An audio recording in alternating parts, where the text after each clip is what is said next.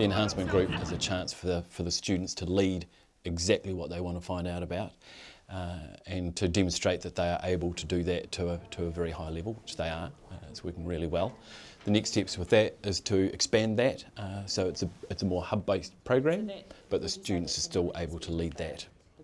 What we did at the start was to get the students to really think about things they were interested in, things they were passionate about, um, skills that they have, and then we looked at how they could turn one or more of those elements into an area of investigation.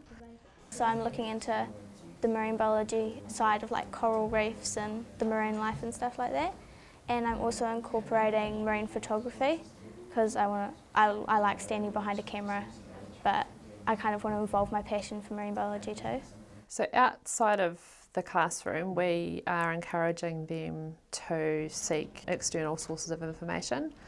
So, for example, um, yesterday we went to the museum and had a look at some ancient artefacts um, for the students who are looking at Greek mythology, and they also interviewed um, the head of classics at the university. Um, and our other student who's doing the marine biology is doing a dive course um, and she's doing experiments at home looking at um, how coral is damaged by carbon emissions. Um, well, I think this enhancement program it helps because it's a chance where I can work on something I'm passionate about, so I can dig deeper. I last Friday I went to the pool to work on my photography skills, and then I'm going in November. I'm going to do a dive course.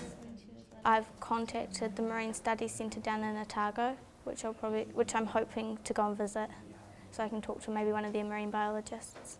We have another student who is looking at uh, genetic modification, so we're encouraging him to go out um, and talk to people in industry and also go to the university and get some contacts there.